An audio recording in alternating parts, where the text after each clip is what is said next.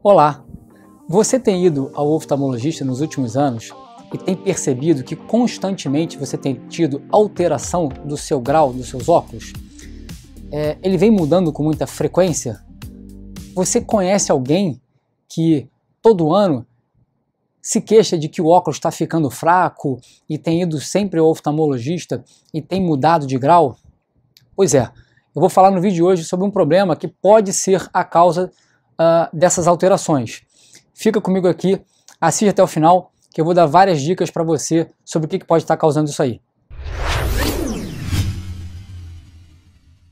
Para quem não me conhece, meu nome é Arthur Farache, eu sou médico oftalmologista aqui no estado do Rio de Janeiro. E estou fazendo esse vídeo hoje para a gente falar de uma patologia, mais especificamente uma patologia da córnea, que é um tecido que a gente tem no nosso olho, que afeta muitas e muitas pessoas. Ela pode ser a justificativa para mudanças frequentes no grau. Você sabe que patologia é essa? Bom, o nome dessa patologia chama-se ceratocone. Cerato vem de córnea e cone vem do formato cônico que essa córnea vai assumindo. A córnea, para quem não sabe, uh, ela é o vidro do relógio do olho, né? Se você for ver na imagem que a gente vai colocar aqui atrás, a gente percebe que tem um tecido transparente que fica na frente da íris. Né? É, a córnea ela tem um formato esférico e no ceratocone existe uma alteração, existe um enfraquecimento do tecido corneano, fazendo com que ele comece a aumentar de curvatura, assumindo uma forma de cone. O ceratocone é uma doença progressiva, por isso, uh, como várias doenças Uh, quanto mais precoce o diagnóstico e imposto o tratamento específico, melhores são os prognósticos dos pacientes que têm essa doença. E por que, que a mudança nesse formato esférico da córnea pode resultar uh, nessas alterações constantes de grau que o paciente pode ter, né, que pode ser um dos sinais da doença?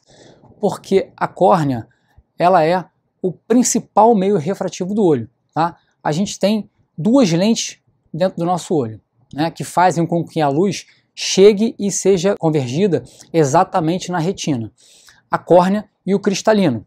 A córnea é responsável por dois terços desse poder, então ela é sim uh, a nossa maior lente, com maior poder uh, que a gente tem uh, dentro dos meios de convergência da luz uh, no sistema ocular. Então, uma mudança na, na, na curvatura da córnea causa uma alteração no poder refrativo dessa lente. Para quem não sabe, é, o grau da lente ele, ele é, é, definido pela curvatura da lente. Então, quando você mexe na curvatura da córnea, você mexe em como essa lente está é, tá alterando a convergência dos raios, mudando a convergência dos raios, causando essas alterações constantes de grau. Como eu falei, né, o ceratocone ele é quando a córnea desenvolve um aumento na sua curvatura, um formato de cone.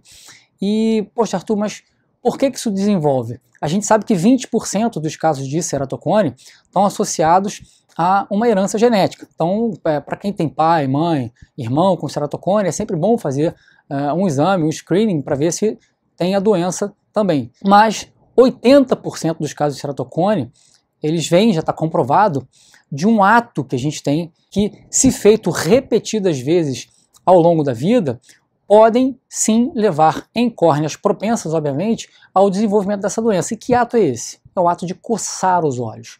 O ato de coçar os olhos ele vai causando microlesões nessa estrutura da córnea. Uh, vamos pensar aqui, uh, só para exemplificar, tá?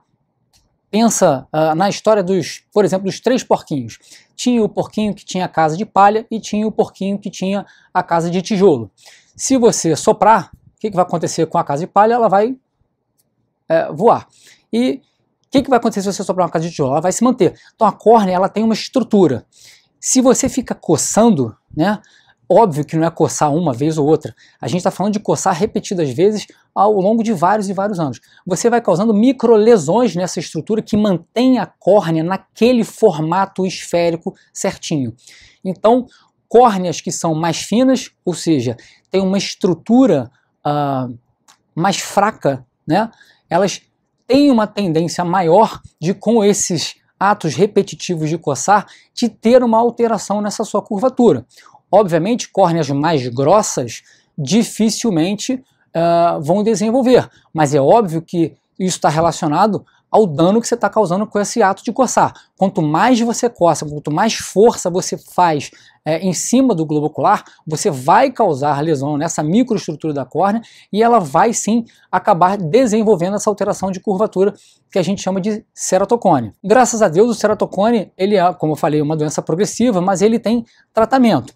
Se diagnosticado uh, precocemente, se for diagnosticado cedo, né, e a gente comprovar que ele está em evolução, a gente pode fazer o tratamento com o crosslink. O crosslink nada mais é do que você é, pingar riboflavina é, na superfície do olho e expor aquela córnea a, a raios ultravioletas. Essa reação química do raio ultravioleta com a riboflavina, ela causa como se fosse um enrijecimento da córnea, como se fosse um cimento que você está é, colocando ali para fazer com que aquela córnea ela fique mais dura, impeça ela de é, formar aquele cone, de alterar aquela curvatura dela, continuar abaulando cada vez mais. Para os pacientes em estágio inicial do ceratocone, o óculos ele continua sendo eficaz, você enxerga bem.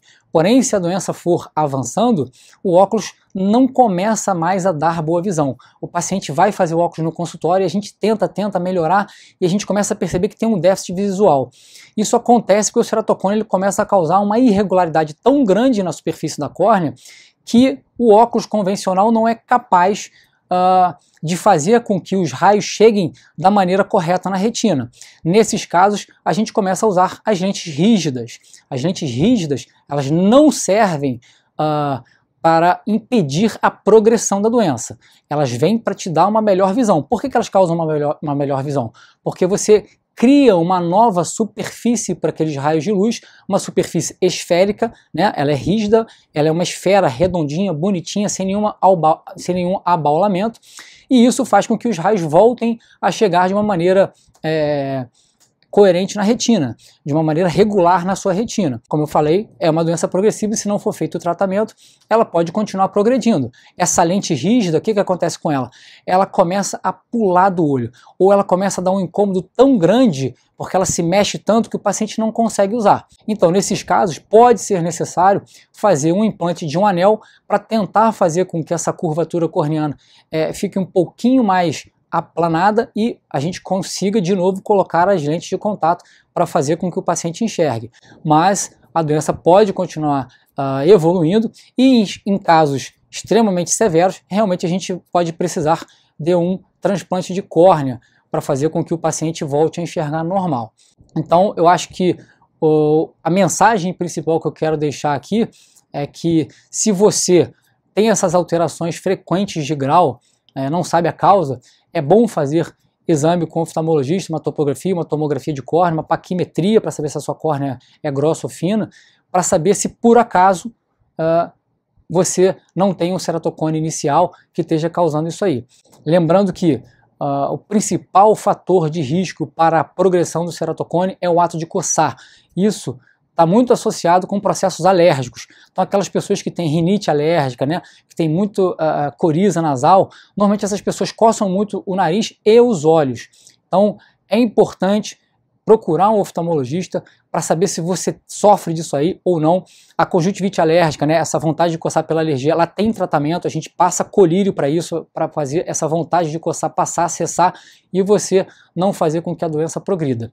Independente de você ter ou não ceratocone, nunca coce os olhos. Essa é a mensagem principal desse vídeo. Bom, espero que vocês tenham gostado do vídeo de hoje. Se você gostou, dá um like, isso ajuda bastante. Se inscreve no canal, tá bom? Compartilha esse vídeo com alguém que você acha que possa se beneficiar dessa informação. Um grande abraço, pessoal, e até o próximo vídeo.